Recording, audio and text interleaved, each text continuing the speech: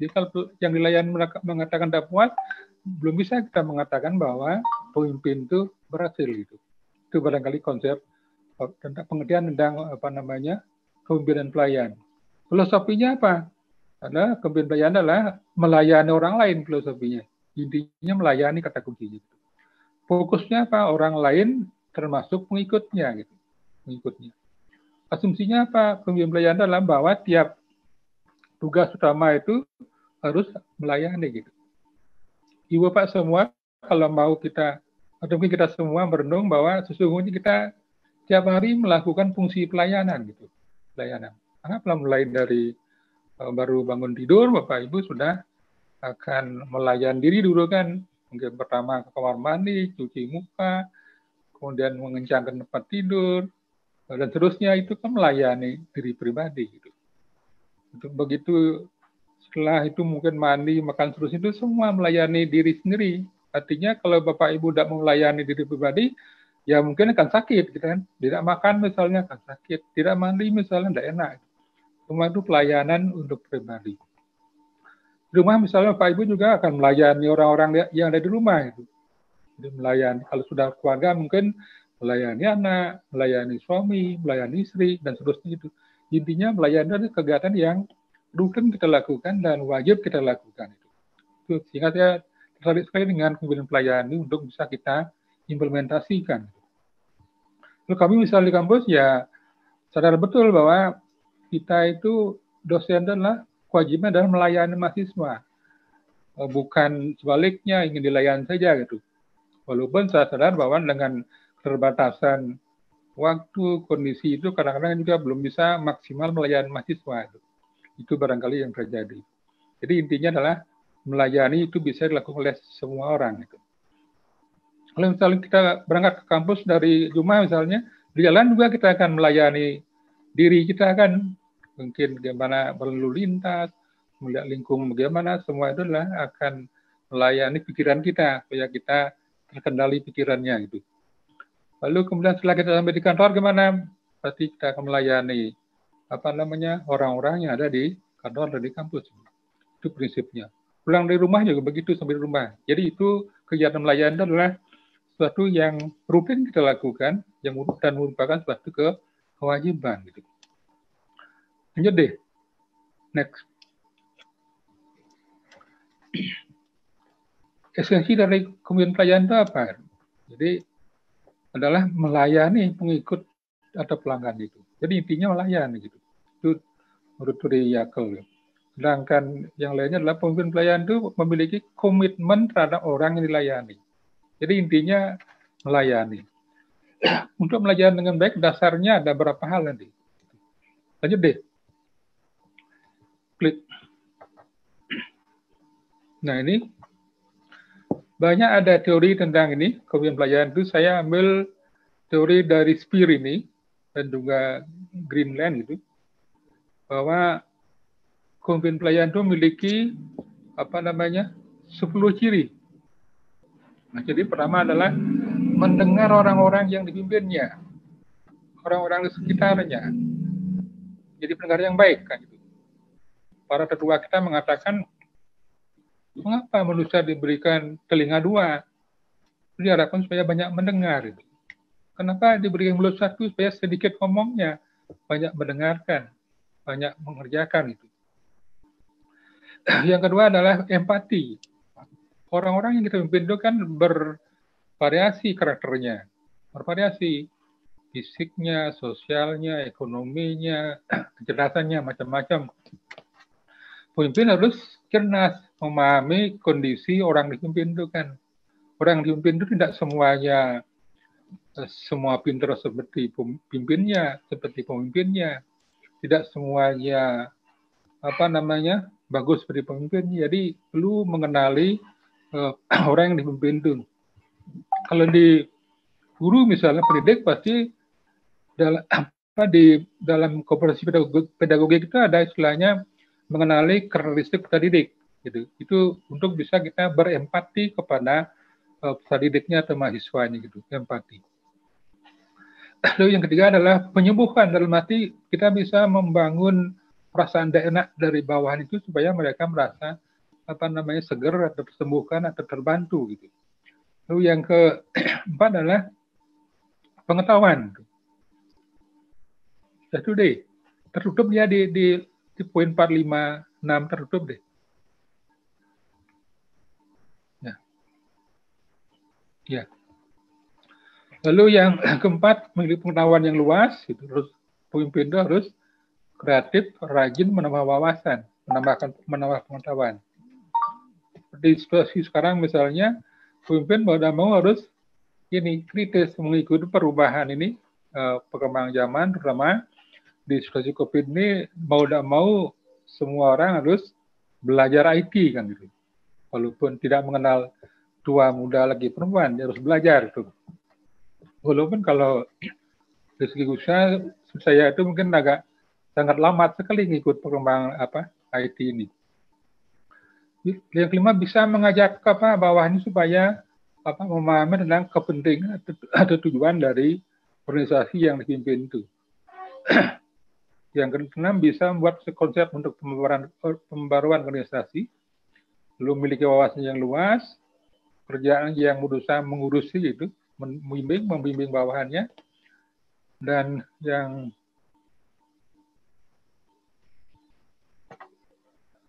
terakhir adalah yang ke-9 adalah komitmen mengembangkan uh, apa bawahannya atau pengikutnya gitu.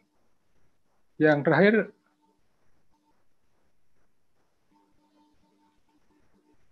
tidak muncul deh, terakhir mungkin terlalu besar ya. Saya yang ke-10 nih, Ya, iya. kelihatan di sini ya? Kelihatan, kelihatan Pak. Oh, di sini baru, baru sembilan kelihatan. Sebelumnya tidak kelihatan. Sebelumnya tidak kelihatan di sini. Sudah terlihat? Lihat di sini ya. Nah, Niki. Ya. Tidak kelihatan juga? Terakhir saya lupa itu. Oke. Okay. Ya, ya. Sorry ya.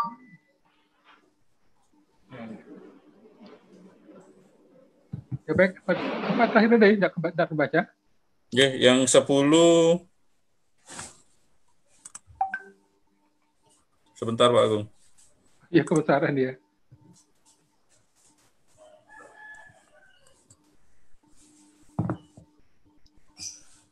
Masyarakat membangun. Oh iya ya. Jadi masyarakat membangun. Membangun diri maupun membangun organisasi dan membangun masyarakat intinya.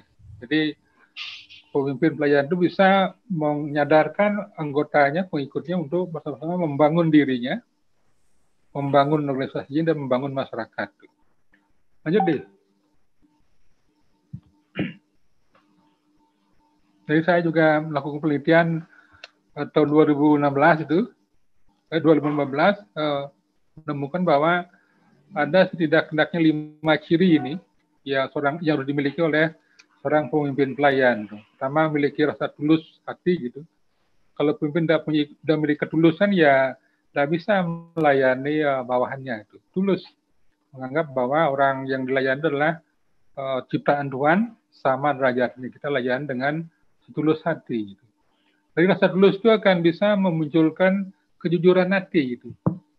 Kalau kita jujur hatinya berarti akan apa sejalan antara ucapan dan tindakannya gitu dan orang-orang itu biasanya akan cenderung transparan, terbuka itu, terbuka terhadap kepemimpinannya, apalagi ada berkaitan dengan finansial akan terbuka itu. Dan dari situ akan melahirkan tanggung jawab. Nah dari keempat itu kalau dimiliki oleh seorang itu pasti akan memiliki komitmen yang tinggi untuk uh, membangun organisasinya. Orang yang komitmen, orang yang memiliki komitmen adalah orang yang siap bekerja apa pun terjadi demi organisasi atau uh, lembaganya. Kalau di keluarga mungkin ya sama orang komitmen keluarga, tapi dia akan bela keluarganya apa pun risikonya gitu. Itu tentang lima ciri tentang pemimpin pelayan menurut hasil penelitian saya tahun 2015. Itu barangkali Pak Dek. Uh, lanjut.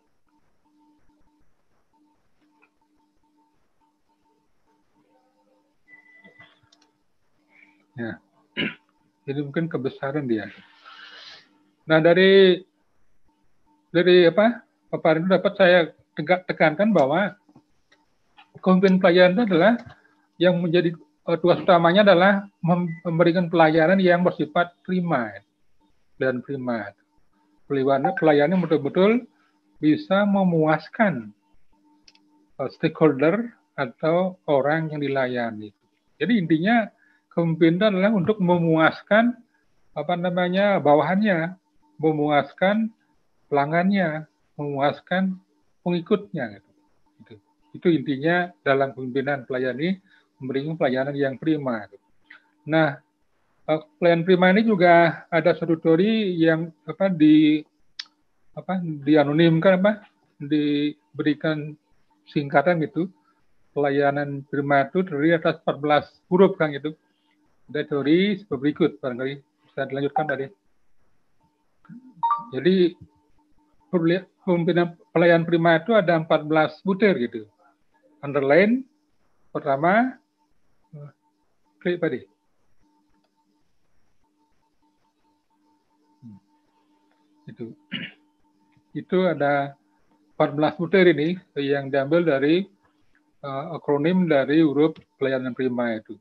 Pertama adalah P itu adalah pantas itu dari segi biaya misalnya mutunya waktunya kalau misalnya kita mengelola suatu pendidikan misalnya biayanya besar tapi harus mutunya juga bagus gitu. waktunya juga sesuai gitu tapi kalau misalnya biaya besar mutu udah bagus itu udah cocok e, memenuhi syarat untuk pantas atau huruf P dari pelayanan prima ini. Yang kedua empati, mungkin tadi sudah saya singgung. Rasa empati itu sangat penting sekali dimiliki oleh seorang pemimpin ataupun seorang pendidik. Gitu. Eh, sebab empati itu akan bisa mendapatkan informasi yang yang bagus dari orang yang dipimpin itu. Sehingga dari informasi itu kita bisa melakukan tindakan solusi yang lebih tepat sesuai dengan kondisi orang yang dipimpin. Yang ketiga adalah langsung jadi responsif segera misalnya kalau kita jadi pemimpin atau jadi guru misalnya jangan sampai berhari-hari tidak direspon apa namanya apa namanya uh, mahasiswanya gitu. Barangkali di sini kalau ada mahasiswa yang ikut barangkali dalam rangka COVID-19 memang dari apa awal Juni saya betul-betul sampai sangat kredit gitu kan. Kadang-kadang uh, tidak sempat juga baca ya karena terlalu banyak sekali mahasiswanya mau apa mencat itu kan itu sehingga menyebabkan tidak bisa merespon segera dalam rangka COVID ini.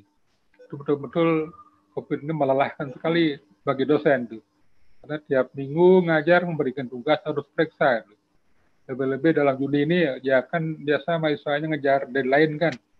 Jadi sekarang rame-rame ini ujian itu Terus kemarin misalnya kemarin saya lembur 13 orang itu mau eksekusi itu. Terus selesai itu sudah kewajiban termasuk juga pelayanan apa uh, bagi mahasiswa. Kemudian uh, yang keempat adalah akurat, ketepatan waktu, ketelitian dan keajegan. Kemudian yakin uh, bahwa apa yang kita berikan itu bisa dipercaya. Kemudian aman, tidak berisiko, dan seterusnya. Lalu nyaman, kemudian fasilitas lengkap alat, kemudian real nyata memang ada semuanya. Ucapannya juga menyenangkan, menyejukkan bagi pengikutnya. Kemudian kerahasiaan daripada hal yang perlu dirasakan itu betul-betul terjaga. Informasinya betul-betul informatif bagi apa pengikut. Kemudian eh, mudah uh, mendapatkan pelayanan maupun akses lainnya. Kemudian ahli dikerjakan oleh orang-orang yang benar-benar kompeten pada bidang itu.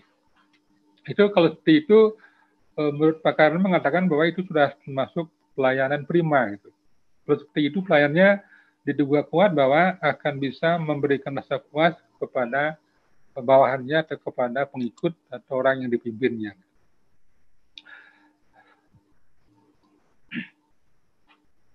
Lalu saya pertanyaan sekarang belum muncul, muncul pertanyaan ini kan topik kedua. Apakah semua orang bisa menjadi pemimpin pelayan secara informal? Ya semua orang bisa melayani kan.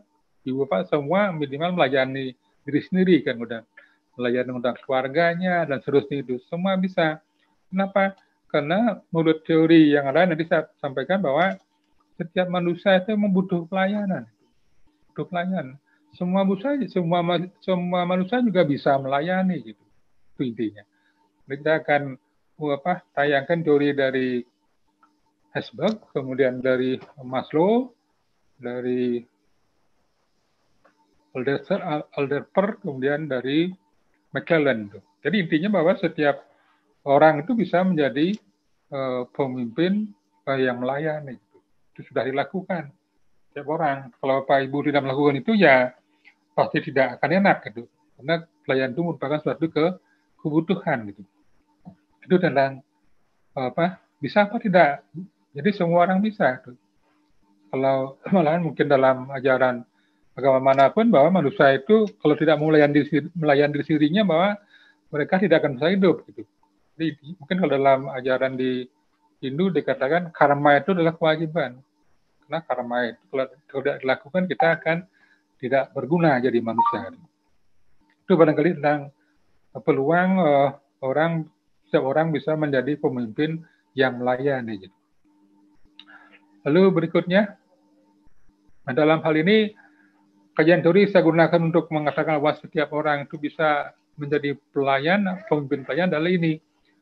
Saya ambil dari empat pakar tentang teori motivasi atau teori kebutuhan itu. Pertama dari uh, teori faktor oleh Asberg itu bahwa manusia itu memiliki lima uh, apa, kebutuhan itu. Tiga kebutuhan bawah itu merupakan kebutuhan penyehat gitu yang bawah itu. Kemudian kebutuhan yang 45 itu yang lebih tinggi remah di poin uh, klede klede klik pertama aja sekali aja lah itu di peringkat empat itu merupakan pengakuan jadi seorang itu bisa menjadi pemimpin, yang melayani lalu berikutnya untuk teori dari Maslow itu mungkin Bapak Ibu semua tahu bahwa manusia itu memiliki lima jenjang kebutuhan. kebutuhan. Kebutuhan yang paling bawah adalah kebutuhan uh, biologis seperti makan, sarang, pangan itu kebutuhan biologis itu. Yang kedua baru kebutuhan rasa aman itu. Yang ketiga kebutuhan untuk hidup uh, bersama dengan orang lain itu sosial. Kalau yang ketiga ini uh, apa ada orang tidak apa tidak bisa hidup bersama tidak bisa hidup karena tiap orang itu uh, butuh bantuan orang lain gitu. oleh itu tiap orang itu butuh melayani juga itu. harus melayani gitu.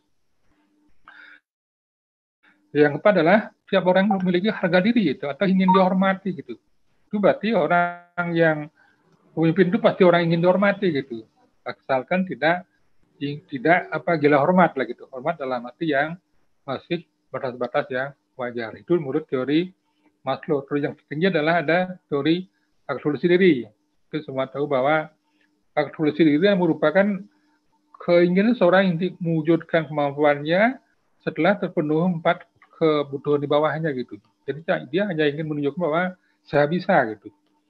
Kita lihat misalnya orang-orang yang sudah apa eh, status sosialnya bagus, apa namanya ekonominya mapan, tapi dia tidak perlu apa-apa lagi, tapi dia ingin uh, menunjukkan bahwa dia bisa memimpin kan itu termasuk uh, kalau kaji dengan teorinya Maslow dia ingin memenuhi kebutuhan yang kelima itu. Jadi ingin aktualisasi diri. Lalu ada kepemimpinan dari uh, Alderper ini adalah teori ERG itu. Teori tentang eksistensi, kemudian keterkaitan, dan juga pertumbuhan itu. Jadi yang ketiga ini tentu semua orang akan butuh itu ke butuh hubungan dengan orang lain kan. Tidak ada orang yang tidak bisa hidup tanpa orang lain orang lain. Karena manusia itu memiliki empat eksistensi kan. Eksistensi sebagai makhluk Tuhan sebagai makhluk individu dan makhluk sosial gitu. Dan makhluk uh, berapa namanya? Uh, moral gitu. Itu itu barangkali semua orang ini butuh jadi semua orang itu bisa melakukan itu terus terakhir adalah teori dari McClellan ini teori tentang uh, teori motivasi di mana Clarence mengatakan ada tiga kebutuhan manusia. Kebutuhan pertama adalah untuk untuk kebutuhan pertama adalah untuk beraplikasi, bersosialisasi, the need uh, application itu. Kemudian yang kedua adalah kebutuhan untuk berkuasa, the need power. Yang ketiga adalah kebutuhan untuk berprestasi. Nah, saya kira setiap manusia itu memiliki apa keempat teori dari pakar ini ini sehingga kalau dihubungkan dengan teori kepemimpinan pelayan ya semua itu membutuhkan pelayanan sehingga semua orang itu juga harus bisa melayani gitu. Lanjut Pak D. Lanjut. Ya. Nah, contoh ini, mungkin dari, tadi sudah saya singgung bahwa dari baru bangun Bapak Ibu sudah melayani diri pribadi kan. Bangun tidur, mencuci muka, mengerjakan tempat tidur, kemudian mandi, makan, semua itu termasuk uh, pelayanan terhadap diri. Jadi yang dipimpin siapa? Pikiran kita itu. Jadi kita kelola pikirannya. Nah, dalam bahasa lain disebut apa olah pikir itu. Jadi malah ada orang mengatakan itu memimpin pikiran jauh lebih sulit daripada memimpin orang lain tuh. Karena pikiran itu memiliki kena yang tidak terbatas tuh. Banyak orang sudah kemapan misalnya sudah punya apa mobil satu harus punya dua. Sudah punya dua ingin tiga. Punya rumah satu ingin dua dan seterusnya. Itu karena dia tidak bisa mem, apa, memimpin pikirannya. Terus ingin memenuhi apa namanya kenikmatannya itu Padahal hidup ini kan bersifat sementara. Ini juga tadi sudah katakan bahwa dalam perjalanan pun kita memimpin pikiran kita di jalan itu. Bagaimana caranya berlalu lintas, bagaimana bertegur sapa kelanda orang, dan seterusnya itu. Termasuk memimpin diri sendiri juga, mengolah, mengolah, mengolah atau mengelola pikiran gitu. Juga di masyarakat tidak tidak tidak bisa lepas dari eh, apa namanya kebutuhan untuk melayani dan dilayani gitu. Di tempat kerja juga tadi saya singgung kan gitu. Juga di pulang kerjanya gitu. Itu barangkali beberapa apa konsep pelayanan akobin pelayanan itu yang intinya adalah karena melayani seseorang gitu, atau melayani diri sendiri gitu. Intinya apa dalam kegiatan ini bahwa kegiatan pemimpin ini adalah sesungguhnya mengolah hati kita. Jadi kalau kita menghadapi tugas banyak atau menghadapi mahasiswa yang macam-macam, bagaimana kita mengolah hati kita itu bahwa melayani itu adalah kewajiban kita itu. Kewajiban kita itu. Uh, ada beberapa teman kadang-kadang ya lupa bahwa hidup matinya guru dosen itu adalah karena mahasiswa. Lupa bahwa kalau tidak ada murid, tidak ada mahasiswa itu tidak ada guru, tidak ada dosen. Sama halnya kalau pedagang, kalau tidak ada pembelinya ya tutup dagang. Itu sama begitu transaksinya gitu kadang-kadang ya orang apa uh, lupa diri gitu bahwa mahasiswa itu adalah orang yang harus terlayani. Gitu. Itu.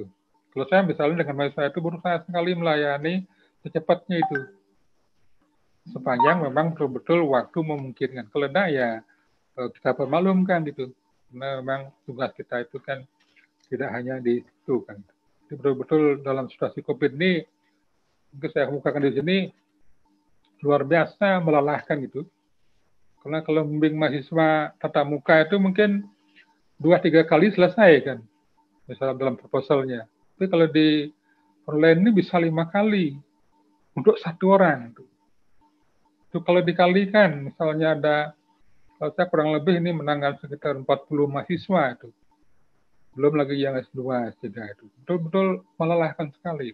Sehingga mungkin kita tidak bisa memberikan pelayanan yang prima karena begitu kondisinya. Itu.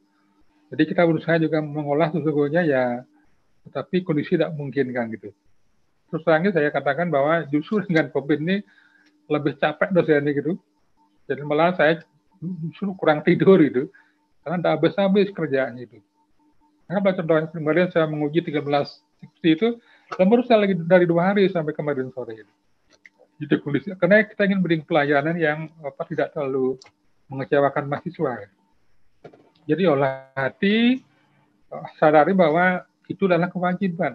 Kalau kita tidak menyadari bahwa itu kewajiban, maka kita akan kadang-kadang arogan itu, arogan. Bahwa seolah kita paling berkuasa. Lalu sesungguhnya kita ditentukan oleh mereka. Jadi dosen itu ditentukan nasibnya oleh mahasiswa pegawai cenderung nasibnya oleh mahasiswa. Tapi kadang-kadang pegawai juga arogan gitu. Kan mahasiswa itu seenaknya dia memberikan pelayanan. Padahal hidup mereka adalah dari mahasiswa. Gitu. Juga perlu di sini olah rasa, gitu. karena supaya kita tidak emosi gitu, dalam situasi yang bermacam-macam seperti itu. Lalu terakhir adalah terakhir adalah ada istilah olahraga itu untuk menyegarkan fisik kita. Intinya dalam memberikan pelajaran ini kita harus betul-betul olah hati, olah pikir, olah rasa yang bagus itu sehingga bisa memberikan pelayanan yang apa minimal tidak mengecewakan bagi apa namanya orang yang kita layani gitu. Ini pada lanjut. Ini topik ketiga adalah tadi kedua kan mengenai apakah semua orang bisa menjadi pemimpin pelayan? Bisa katakan dia pasti bisa karena sudah dilakukan dalam sehari mulai dari rumah, di jalan, di kantor sampai di masyarakat itu sehingga semua itu bisa. Lalu apa semua butuh? Jelas semua. Tadi kan sudah saya katakan di teorinya empat pakar tadi kan dari Calderper, dari Maslow, dari apa Hasberg dan juga dari McClellan itu.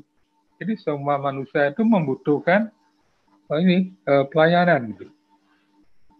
Apa beda membutuhkan dengan menginginkan itu? Kalau membutuhkan artinya kalau tidak dipenuhi lalu menjadi masalah itu namanya kebutuhan. Tapi keinginan tidak dipenuhi tidak apa-apa. Jadi itu uh, yang mendasari sehingga dari empat teori itu ya setiap orang ya butuh pelayanan, butuh pelayanan. Setiap orang itu sedang dilayani gitu. Tapi jangan kelewatan kalau terus sekali layani nanti menjadi manya jadinya gitu.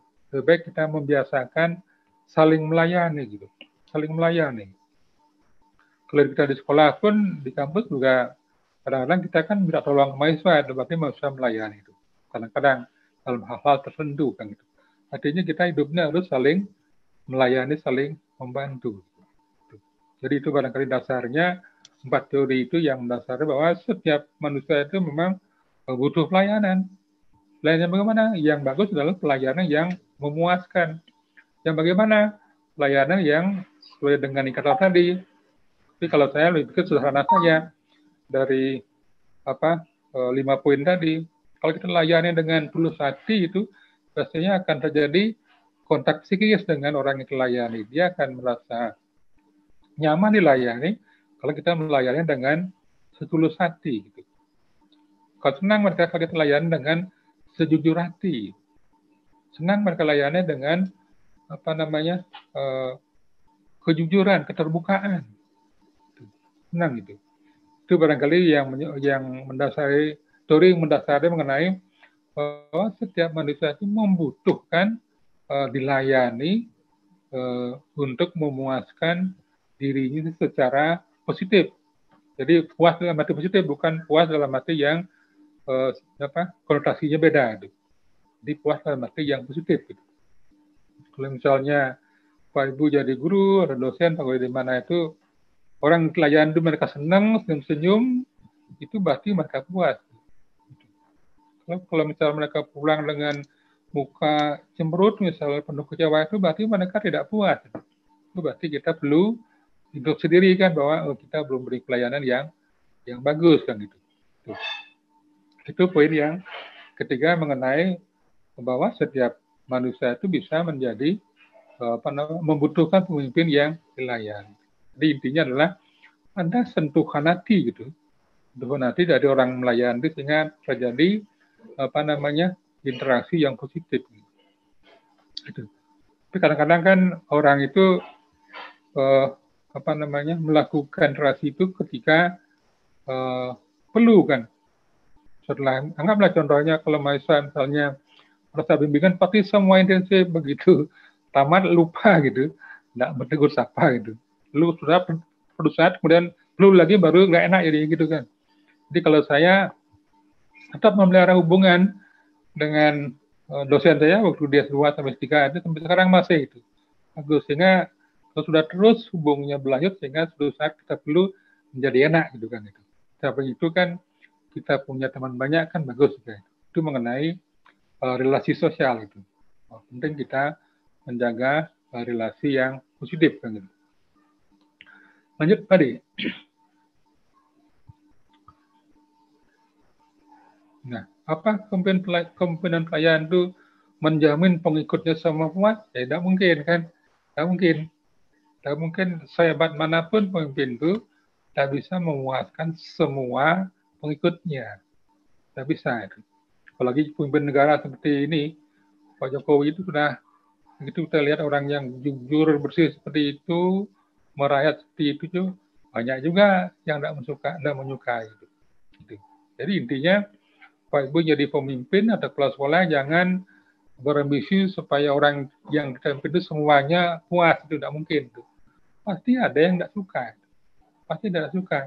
Kenapa tidak suka? Karena hakikatnya manusia itu memang ya tidak semua bisa disamakan. Disamakan. Kalau misalnya kita apa simak teorinya Maslow tadi kan itu kan tiap orang memiliki kebutuhan berbeda. Nah, kalau pas pemimpinnya ingin maju organisasinya, tapi ada pegawai yang masih butuhnya pada level bawah, ya tidak bisa mereka dipaksa untuk kerja keras. Ada juga teori dari uh, McGregor. Coba klik bintang di nomor dua deh, di Gregor itu.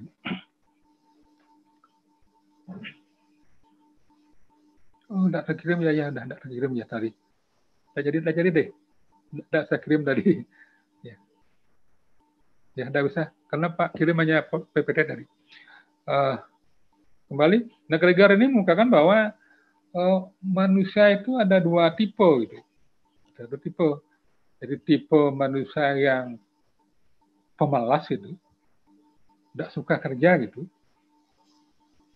Dia ingin enak, tapi tidak kerja itu tipe orang seperti itu menurut Geger disebut tipe manusia X. Gitu. X itu dalam bahasa lainnya kan terlarang kan jadi negatif kan. Jadi X tipenya orang yang kerjanya malas dikasih tugas tidak selesai. Tapi kalau minta haknya ngotot kan gitu. Jadi intinya mereka kerjanya apa malas, tidak ingin apa maju. Lawannya adalah manusia yang suka maju, kerjanya apa namanya defisit risetnya tinggi, itu disebut manusia tipe Y menurut Gregor itu. Jadi kalau suatu uh, lembaga ya pasti ada manusia yang bertipe X yang memang pemalas, uh, banyak akalnya, itu dan sebagainya banyak itu. Ada seperti itu. Orang seperti itu tentu tidak akan sulit dipuaskan itu. Karena memang karakternya memang ya seperti itu. Itu harus disadari oleh pemimpin. Jangan berambisi semua puas. Nanti bisa pemimpin stres nanti gitu kan jadi yang penting kita bisa berusaha maksimal mungkin ya kalau ada 20 persen udah puas sudahlah kita terima.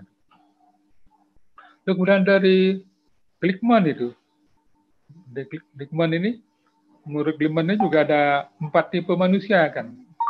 Tipe manusia yang pertama adalah uh, yang kecerdasannya rendah kemudian komitmennya juga rendah.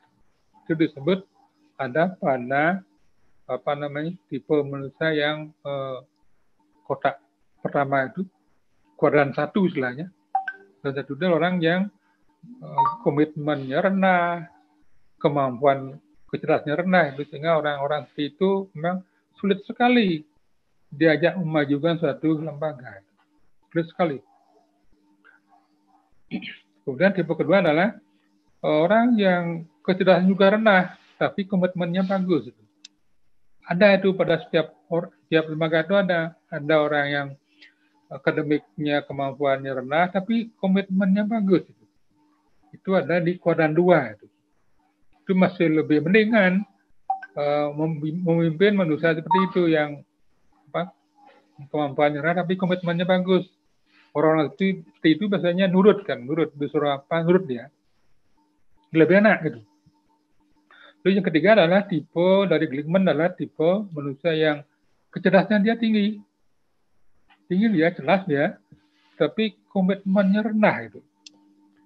Itu akan sering mengganggu orang-orang yang kecerdasannya tinggi, komitmennya rendah itu biasanya sukanya mengkritik saja gitu. Mengkritik, ya, karena dia kan tinggi kecerdasannya sehingga suka mengkritik. Tapi komitmennya rendah setelah dia setelah ngeritik diberikan tugas tidak selesai itu itu tipe manusia di kuadran tiga itu menurut teori Glickman itu. Tiga jadi kecerdasannya tinggi komitmennya rendah. Itu juga yang apa meng, sering mengganggu kemajuan organisasi gitu. Yang keempat paling bagus ini adalah yang kecerdasannya tinggi lalu komitmennya juga tinggi. Itu ada di kuadran kanan atas jadi itu yang paling bagus itu. Kalau banyak seperti itu pegawainya ya akan bagus lembaganya. Tapi kan tidak mungkin satu lembaga pasti saja ada orang yang kemampuannya rendah, komitmennya rendah. Ada yang kemampuannya uh, tinggi, komitmennya ada kemampuannya rendah, komitmennya tinggi. Ada kemampuan tinggi, komitmen rendah. Ada yang tinggi-tinggi dua-duanya itu. Jadi intinya tidak bisa kita menguaskan 100% untuk puan tidak bisa. Karena manusia itu terdirikan memang bermacam-macam karakternya gitu. Lanjut tadi ya ada terakhir ini uh, ulang ulang. Kembali kembali balik kembali. Ya tadi dari dari dari gulman nih. Dari gulman itu lain teorinya. Dia mengkategorikan ada dua tipe manusia ada manusia yang memiliki kecerdasan intelektual dan kecerdasan emosional. Gitu. Jadi orang yang memiliki kecerdasan intelektual tinggi itu bagus diberdayakan untuk menguasai iptek gitu. Iptek bukan teknologi. Tapi kalau yang memiliki kecerdasan emosional tinggi itu bagus untuk membangun eh, apa namanya kebersamaan, memimpin. Jadi orang-orang yang sukses di masyarakat itu lebih banyak yang kecerdasan emosionalnya tinggi daripada yang kecerdasan intelektualnya tinggi.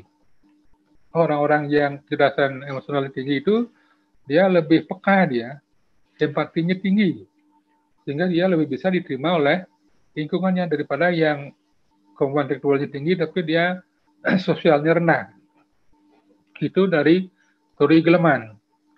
Kemudian kelima mungkin teori yang ada bersifat lokal genius Bali kan bahwa di Bali ada istilah uh, apa manusia itu dilahirkan uh, ada dua tipe ada disebut dua jadi ada ada ada manusia yang memang baik ada yang tidak baik itu. Ada laki ada perempuan ada atas ada bawah itu semua disebut dua semuanya berlawanan. Oleh itu eh, kita pemimpin jangan berharap semua orang itu sama kemampuannya.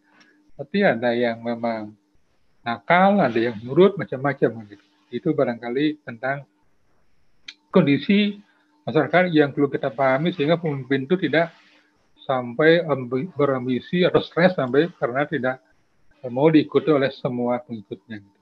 Yang mungkin kagetnya mungkin ya kemudian besar sudah kuat itu kita harus sudah bisa terima gitu. Itu kemudian lanjut tadi. Kesimpulannya bahwa kepemimpinan pelayan itu memang bisa dikerjakan oleh setiap orang. Gitu. Karena setiap orang itu membutuhkan kepemimpinan pelayan itu. Jadi saling ini uh, ada hubungan timbal balik nih antara kepemimpinan pelayan, uh, semua semua orang bisa, semua orang juga membutuhkan. Jadi ini ada hubungan timbal balik gitu, antara ketiga ini. Itu barangkali. Lanjut tadi. Bulan lainnya bahwa pemimpin pelayanan itu cenderung diterapkan secara situasional. Artinya tidak mungkin pemimpin itu menerapkan hanya satu-satunya pemimpin pelayan. Karena karena untuk orang yang memang uh, bagus pribadinya, uh, komitmen bagus, ya bagus diberikan pemimpin pelayan. Tapi kalau untuk orang yang memang pemalas itu, pemalas banyak akalnya juga, tidak bisa pakai pelayan, pemimpin pelayan. Perlu digunakan pemimpinnya yang agak otoriter, agak otoriter. Nah, sehingga ada istilah pemimpinan institusional bergantung pada situasi dan kondisinya. Seorang pelayan itu melayani secara tulus, secara tulus, jujur, transparan, bertanggung jawab dan uh, dapat tanggung jawabnya secara spiritual, moral maupun sosial. Kemudian di samping memiliki syarat tersebut, seorang pemimpin, pemimpin pelayan ini juga perlu orang yang ini, orang yang pernah merasakan hidup susah, orang yang pernah merasakan hidup miskin, orang yang pernah uh, apa menjadi orang yang bodoh, gitu. karena di organisasi yang dia pimpin kan pasti ada orang-orang seperti ini, sehingga jangan apa apa arogan misalnya memimpin itu karena kan ada bawahnya yang misalnya susah itu kemudian damrat misalnya. Ada anak buahnya yang miskin misalnya tidak diperhatikan. Ada bawahnya misalnya yang uh, lemah kemampuannya di apanya di uh, hina misalnya. Itu perlu dimiliki sehingga pemimpin pelayan itu bisa menjadi pemimpin yang lebih bijaksana, lebih bijaksana memberikan perlakuan terhadap bawahannya. Itu barangkali berikutnya bisa ada apa nih? Lanjut. Apa man, man, manfaat utama ini bagi pemimpin pelayan? Apa yang didapatkan pemimpin pelayan itu? Karena kan tugasnya melayani, apa didapatkan? Yang ingin didapatkan adalah hanya kebahagiaan secara sosial dan spiritual itu. Secara sosial mereka senang kalau dapat membahagiakan orang-orang yang mereka pimpin. Itu secara sosial. Secara spiritual apa? Ya mungkin akan diterima apa setelah nanti mereka dipanggil yang datang ya di dunia sananya akan kehidupannya diyakini akan lebih bagus itu. Jadi kalau dalam bahasa Bali itu mungkin saya pernah mendengar apa ceramah seorang apa namanya spiritual itu bahwa kurikulum hidup itu harus harus kita pahami gitu. Bahwa hidup itu sehingga itu ada empat hal kurikulumnya disingkat dengan suka. Pertama adalah kita bertanya, siapakah siapakah diri saya ini? Jawabannya apa? Siapa saya ini? Coba kita kan uh, makhluk ciptaan Tuhan yang kita bersyukur dilahirkan uh, normal gitu, baik secara fisik maupun psikis. Oh kita manusia. Manusia itu adalah makhluk hidup yang paling tinggi derajatnya daripada ciptaan Tuhan yang lainnya. Nah kalau sudah tahu kita hidup ciptaan yang paling tinggi derajatnya, terus kita tanya, bertanya lagi, untuk apa saya hidup ini? Kalau kita ada tahu untuk apa hidupnya ya, kita nanti bisa salah arah. Oke, dalam konsep Hindu misalnya di Bali itu hidup itu apa sesungguhnya tugasnya? Hidup hidup ini kan sebenarnya hidup yang mengulang istilahnya. Dalam dalam istilah Hindu disebut apa namanya reinkarnasi gitu. Hidup ini memang penuh penderitaan gitu berpenderitaan karena kita harus uh, apa berhadapan dengan macam-macam masalah kan gitu penderitaan dalam hidup ini. Jadi oleh itu kita harus uh, sadari semua itu bahwa hidup itu adalah untuk berkarma. Hidup dalam untuk melaksanakan kewajiban. Lepas jadi pemimpin dia dilakukan kewajiban yang bisa menyenangkan, memuaskan orang-orang yang ada di sekitar kita. Jadi intinya hidup itu adalah untuk berkarma sebaik-baiknya untuk melaksanakan kewajiban sebaik-baiknya gitu. Sebab sebab itu yang akan kita bawa ke dunia akhir kan. Jadi pengalaman kita melaksanakan kewajiban dengan baik itu lain yang kita bawa. Bukan bawa harta benda kayak apa-apa, tidak akan bawa harta benda kita ke sana. Jadi kita nanti kembalinya tidak akan bawa apa-apa. Yang kita bawa hanyalah bekas-bekas dari perbuatan kita. Kalau kita banyak berbuat baik ya itulah yang akan mengiring kita ke dunia akhirat. Kalau kita banyak merdu orang, itulah yang akan jadi catatan kita untuk dibawa ke, ke dunia akhirat. Nah, itu barangkali uh, poin-poin yang bisa menginspirasi seorang pemimpin pelayan sehingga bisa melakukan pelayanan dengan tulus hati, dengan jujur, penuh tanggung jawab, berdedikasi dan juga komitmen. Itu, itu. Uh, intinya adalah Kemudian pelajaran itu hanya kebahagiaannya pada energi sosial dan spiritual itu. Lanjut Pak Di. Nah barangkali ini bisa dijadikan kerangka pikir bahwa sesungguhnya manusia itu bisa menjadi baik itu bergantung pada uh, kecerdasan empat hal ini. Spiritual spiritualnya bagus itu, tentu dia akan pola pikirnya pun akan bagus karena di apa diiklami oleh pikiran-pikiran yang bersih, yang jujur gitu, yang ikhlas itu kan akan mempengaruhi pikirannya. pikiran bagus itu juga apa spiritual yang bagus itu juga akan mempengaruhi rasa seseorang. Rasa. Kalau orang betul-betul mengayati hal-hal spiritual itu akan cenderung dia memiliki rasa yang lebih peka, lebih lembut, lebih simpatik lah gitu. Nah, dari tiga kita itulah akan mempengaruhi ini gerak fisik seseorang. Artinya kalau kecerdasan spiritualnya bagus, berdampak pada cara berpikirnya bagus, berdampak pada uh, perasaannya bagus, dan itu diwujudkan dalam bentuk perilaku yang bisa kita lihat. Pikiran bagus tidak bisa kita lihat kan. Rasa bagus tidak bisa kita lihat. Yang bisa kita lihat adalah ini perilakunya atau kecerdasan kinestetiknya, kecerdasan badani. Itu yang bisa kita lihat. Orang yang perilakunya bagus, berarti kita interpretasikan bahwa ritualnya bagus, pikirnya bagus, rasanya bagus. Orang yang perilakunya kasar, kita interpretasikan bahwa ritualnya tidak bagus, pikirnya tidak bagus, rasanya tidak bagus. Itu barangkali dari empat ini barangkali yang menjadi kendali adalah ritualnya. Sehingga kita semua pun sadar tahu bahwa kenapa dalam kurikulum itu pasti agama nomor satu kan gitu. Agama. Karena kita ingin menghasilkan manusia yang apa beriman dan takwa itu kalau bagus imannya takwanya itu itu akan pengaruhi pola pikir eh, rasa dan diwujudkan dalam bentuk perilaku. Nah kalau orang yang bagus di ini keempat ini maka itu menjadi pemimpin pelayan yang sukses nanti kan karena dia akan bisa melakukan pelayanan yang betul-betul memuaskan pihak-pihak yang uh, dipimpinnya.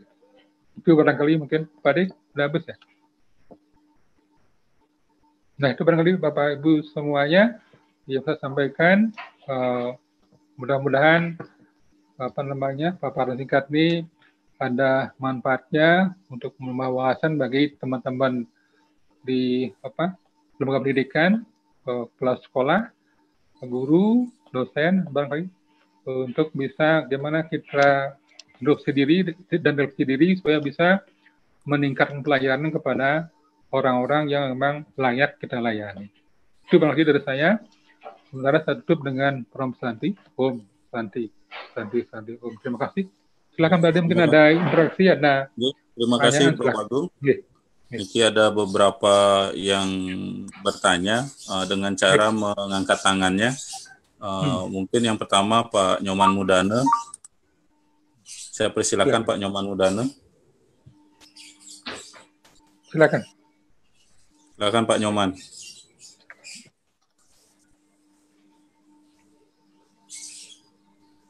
Halo, Pak Nyoman Mudana. Halo. Sambil menunggu Pak Nyoman Mudana, ada pertanyaan dari Bu Niluh Putu Sri Laksmi, Pak Agung. Ya, silakan. Bagaimana cara sebagai seorang pemimpin yang menerapkan kepemimpinan pelayan atau servant leadership ini kepada bawahan dengan situasi seperti ini, terutama saat perkembangan zaman seperti sekarang dengan lebih mengutamakan menggunakan sistem dan teknologi ke dalam kegiatan belajar mengajar dan teori siapa yang bisa kita gunakan atau terapkan saat kondisi seperti ini. Ya, baik, terima kasih. Ibu, siapa tadi tanya deh?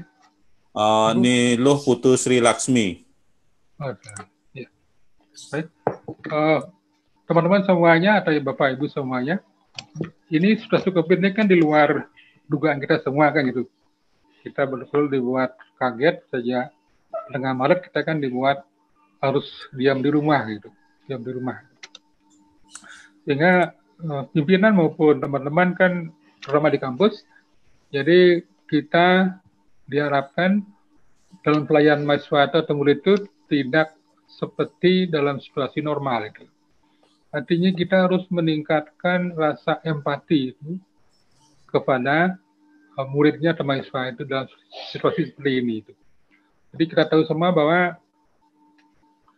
pembelajaran dengan daring ini kan tidak semulus yang kita bayangkan, tidak semudah yang kita ucapkan juga karena untuk bisa mengakses pembelajaran daring itu kan butuh apa namanya uh, sinyal atau akses internet gitu kan sehingga tidak bisa kita berharap sama-sama. Di juga ada faktor ekonomis, ada orang yang mungkin belum bisa membeli apa eh, apa HP atau laptop yang memadai itu, sehingga ya kita harus eh, memaklumi itu. Jadi kita harus menggunakan pendekatan yang bersifat institusional lah gitu. Jadi misalnya di kampus sekarang kan KKN itu kan pakai daring, Pak deh. Daring itu nggak bisa kita berharap semua bisa anu, bisa ikut ternyata mahasiswa yang ada di pelosok itu tidak bisa mereka apa akses internet itu nah, akhirnya tidak tidak layanan mereka itu. Jadi jangan internet WA pun susah mereka. Demikian juga untuk ibu ini Bu Laksmi di, di sekolah tugas Bu ya? Ibu Laksmi tugasnya di sekolah mana ya? Halo? Tugasnya di mana Pak Deng? Uh, tidak tidak suaranya belum terdengar dari Bu Laksmi, Prof. Mungkin mungkin di sekolah atau di lembaga kampus mungkin, mungkin Bu Laksmi yang yang alum, alumni alumni S2 dulu ya barangkali ya. Okay. Ya mungkin seperti itu prinsipnya Bu Laksmi nanti. Jadi saya juga kemarin kan sempat juga di wawancara oleh Pak, Pak Romi kan wartawan kampus kita itu dan juga saya ada menggerakkan di, di apa di push di apa di grup itu intinya gini Pak Bu sekalian ya dalam situasi COVID ini tidak mungkin kita mengharapkan capaian pembelajaran itu sama dengan situasi uh, normal tidak mungkin. Kita akan berusaha menurunkan apa namanya grade gitu.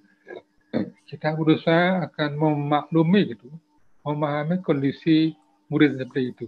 Jadi kita intinya tetap beri pelayanan semaksimal mungkin gitu, semaksimal mungkin sesuai dengan kemampuan kita, kondisi mahasiswa dan juga lingkungan di mana kita berada. Jadi yang jelas eh, kita yang penting kita gini terapkan proses konsep yang saya sampaikan tadi ada lima hal itu kita lakukan dengan tulus gitu kan dengan jujur dengan terbuka gitu. Kalau kita lakukan itu dengan dengan apa setulus hati, jujur hati, terbuka, komitmen itu biasanya orang yang kita layani dia akan cepat memahami, cepat maklum gitu.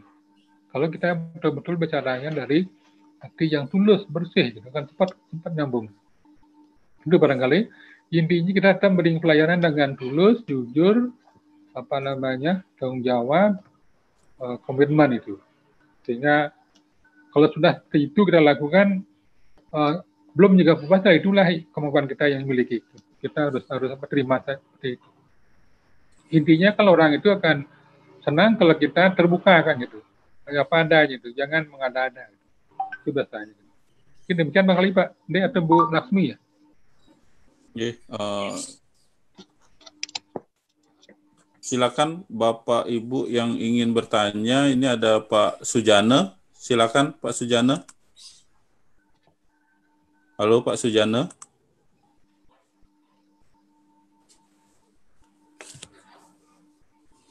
Halo Pak Sujana.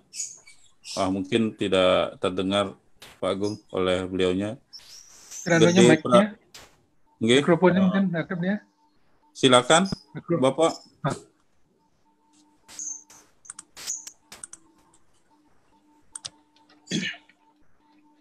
Halo. Nah, ini mungkin ada pertanyaan lagi Pak Agung Oke. dari Yakub. Ini, Pak, Pak Mudano udah muncul dia cuma mikrofonnya dia ada aktif. Ya, mikrofonnya yang belum belum di, di dinyalakan oleh yang bersangkutan. ya, ya, silakan. Ya, uh, ini Yakub, ada dari Yakub Kaparihi. Ya, silakan. Uh, ingin bertanya begini, Prof. Bagaimana cara orang yang tidak pernah hidup susah, tidak pernah miskin, untuk menerapkan kepemimpinan pelayanan ketika dia menjadi seorang pemimpin, entah itu di sekolah atau lembaga lainnya. Terima kasih, Prof. Ya, betul. Tadi sudah saya bingung kan, bahwa penting sekali pemimpin itu memiliki pengalaman yang tidak mengenakan gitu. Kenapa? Karena orang-orang yang dipimpin itu tidak semuanya orang-orang yang hidupnya serba enak. Gitu kan. Jangan sangat perlu sekali orang yang memiliki pengalaman hidup tidak enak itu akan jauh lebih bijaksana gitu daripada orang yang uh, apa namanya uh, hidup tidak pernah susah gitu. Tuh, tuh. Sama halnya kalau seorang guru misal pendidik itu dia dari SD perguruan tinggi terus ranking satu gitu, yang satu terus gitu. Jadi kemudian dia jadi guru itu menganggap semua murid itu sama seperti dia kemampuannya. Jadi kalau ada anak yang tidak mampu dia benda-benda itu. Dia tidak sadar bahwa manusia dilahirkan bervariasi. Ada istilah psikologi adalah istilah apa individual differences. Ada manusia yang memang uh, sangat cerdas, ada yang sedang, ada yang lemah, ada kurang. Ada manusia yang memang ada yang apa, pendiam, ada yang banyak suara, ada yang ada macam-macam gitu. Itulah pentingnya kita pengalaman untuk hidup seperti itu sehingga ketika kita jadi pemimpin akan cepat uh, apa, menaruh empati pada orang-orang yang mengalami masalah seperti itu. Nah, oleh itu mungkin pertanyaan Pak Yakub ini kalau tidak punya pernah pengalaman mungkin ya dia harus kembali merenung pada apa eh, ajaran agamanya barangkali bahwa agama penting mengajarkan semua bahwa semua kita penciptaan Tuhan adalah sama di mata beliau. Sama di mata beliau oleh itu kita harus menerapkan apa namanya konsep dalam bahasa Bali itu adalah konsep tatwa masih bahwa semua mereka itu adalah saudara kita. Kita sebagai makhluk dari Tuhan sama. Oleh itu kita berikan perhatian pelakuan yang sama. Tapi kalau misalnya seorang itu sudah bagus spiritual kita katakan tadi spiritualnya bagus cenderung akan berpikirnya lebih apa tidak terlalu rasional gitu. Jadi bisa ditoleransi cenderung mereka akan lebih sosial sehingga dalam wujud perilakunya mereka akan lebih bijaksana itu berangkatnya dari karena ritualnya bagus tuh. Itu ritualnya bagus ya biasanya akan berpengaruh pada cara berpikir uh, sikap dan sampai peri, perilakunya barangkali demikian barangkali anu uh, apa namanya Pak Yakub itu jadi yeah. intinya manusia itu Selamat belajar, siang, belajar untuk memahami atau mengenali berbagai tipe orang. Tidak semua orang kaya, tidak semua orang pintar, itu dan lain sebagainya itu dipahami. Gitu. Barangkali itu dikembalikan ke ajaran agama atau mungkin belajar psikologi sosial paling bagus juga. Itu barangkali mungkin Pak Gede. Yeah. Uh, uh, satu lagi sebelum Selamat siang Pak Gede. Terakhir dari Pak Made Ariase, silakan Pak Made. Okay. Uh, Om Swastiastu, uh, Pak Propagung. Uh, Om Swastiastu juga Pak Gede dan Om Swastiastu semuanya dan selamat siang Niki. Uh, izin uh, Titiang uh, juga menyampaikan uh, selamat dan uh, begitu inspiratif sekali uh, materi dan penjelasan dari Propagung. Jadi tiang uh, pada hari suci kebetulan hari ini adalah hari uh, Budo Wage, jadi Piodala di yang guru tiang. Jadi izin dalam kondisi upacara, nggih jadi izin sambil kegiatan upacara juga yang berusaha untuk mendengar dan karena ini materi yang sangat penting dan uh, sangat bermanfaat sekali. Sekali lagi terima kasih atas materi dan pemaparannya yang sangat bagus. Mudah-mudahan ini bisa menjadi uh, manfaat bagi tiang pribadi maupun uh, anak-anak generasi penerus ke depannya. Uh, yang terkait dengan apa yang menjadi pemaparan tadi, uh, yang paling penting bagi tiang bagaimana menghadapi kondisi fenomena yang tadi juga sudah sempat ditanyakan oleh Bu Laksmi, tapi bukan hanya pada saat kondisi pandemi ini, tapi kondisi real ke depannya setelah new normal kehidupan masyarakat kita. Bagaimana seorang pemimpin yang pelayan ini akan mampu mengkondisikan supaya posisi kebermanfaatan sebagai pemimpinnya akan betul-betul dirasakan oleh uh, yang dilayani uh, maupun secara umum gitu. Kedua juga yang tertarik uh, mengenai prinsip-prinsip uh, dari terkait dengan pemimpin pelayan. Di situ ada nilai kejujuran dan lain-lain. Uh, bagaimana membawa nilai-nilai kearifan lokal yang kebetulan tiang lagi meneliti tentang Trikaya Parisudo ini dibawa ke dunia pendidikan sehingga bisa menghasilkan anak-anak uh, maupun generasi muda dan generasi pemimpin yang betul-betul sesuai dengan harapan uh, materi yang Bapak Prof tadi paparkan.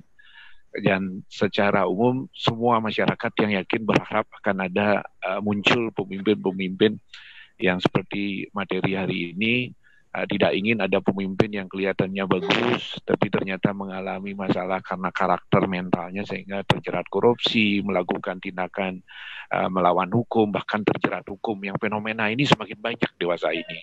Nah, bagaimana mengantisipasi dalam hal tersebut terutama dari sisi aspek pendidikan Pak Prof?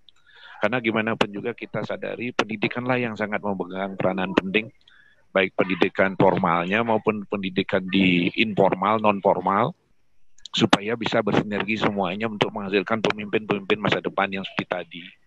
Nah ini yang sedikit uh, kami mohonkan sehingga uh, ada terkait dengan Trikayo Parisudo yang kami teliti uh, selain memang menyelesaikan permasalahan anak-anak tapi juga berharap bisa menghasilkan pemimpin masa depan. Kurang lebihnya mohon maaf Pak Prof Agung kemudian juga Pak Gede kalau ada yang kurang berkenan. Terima kasih atas waktunya uh, dan terima kasih juga atas penjelasan dan pandangan pendapatnya. Suksma Om, Santi Santi Om. Terima kasih Pak Made. Ini apa?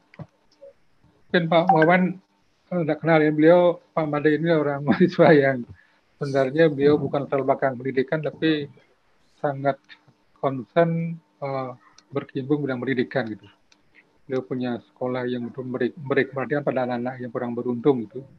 Untuk Wawan, Pak Wawan barangkali saya sampaikan Pak Made ini orang dari Mas Pak Gede. Gede kan istrinya dari kelihatan gitu masih tetangga gitu. Yeah. Terus uh, untuk hal ini kembali Pak Made. Yang jelas ini senada dengan pertanyaan Bu Lakmi tadi kan.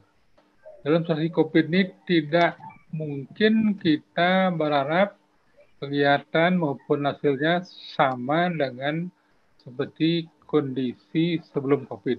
Itu pertama, paham. Sehingga uh, dengan cara itu pemimpin rumah balik kan jadi kepala kepala yayasan juga tidak stres nanti karena target-target tidak tercapai sesuai dengan harapan. Kita harus turunkan grade-nya capainya gitu sehingga bisa lebih diterima hasilnya nanti.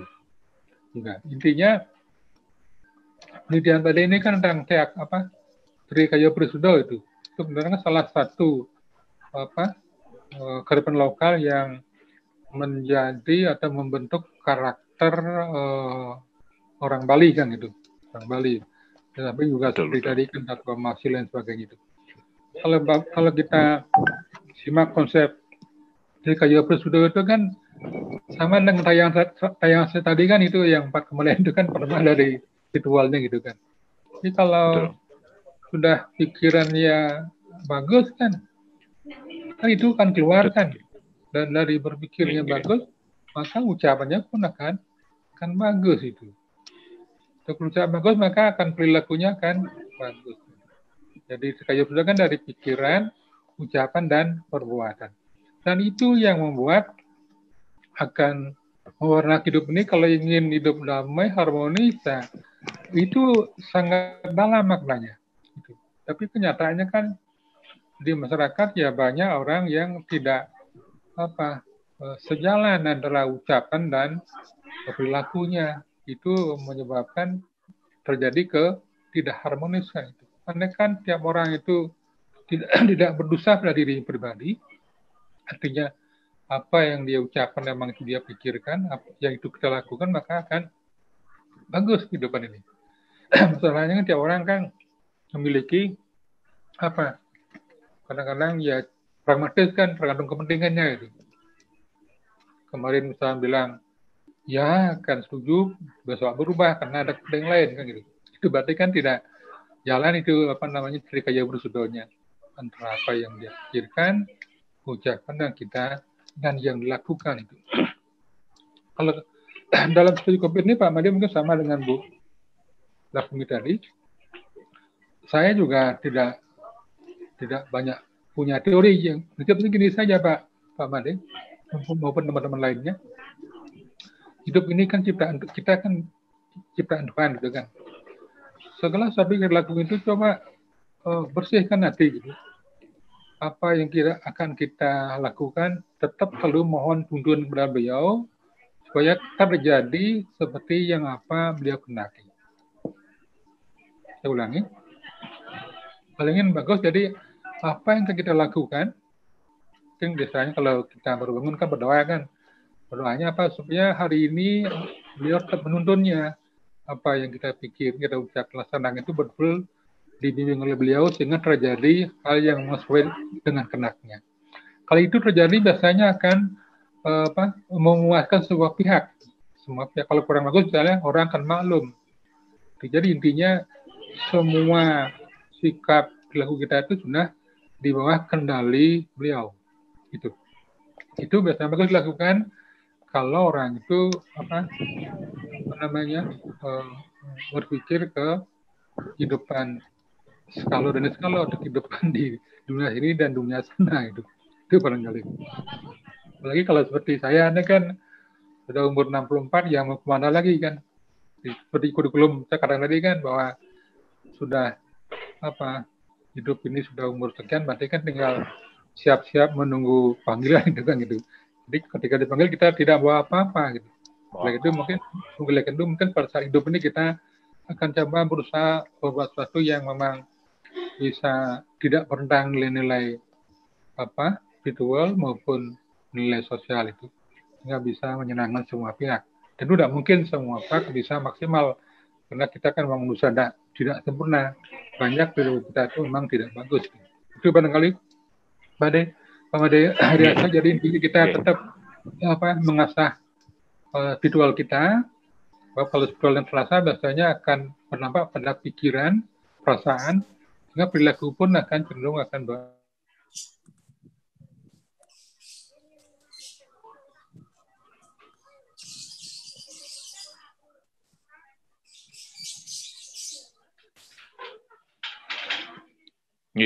Sukses semua Pak Prof Agung, uh, sukses semua juga Pak Gede, uh, semua atas materi dan inspirasinya. Uh, Tiang izin mau lip uh, acara webinar karena mau melanjutkan uh, acara sembahyang dan membantan Niki untuk Pure yeah. Talentara yang guru. Terima kasih Pak Gede sekali lagi. Terima kasih Pak Prof Agung. Tiang izin pamit Niki untuk melanjutkan sembahyang dan membantan. Sekian Om Santi Santi Om. Om Santi Santi Om.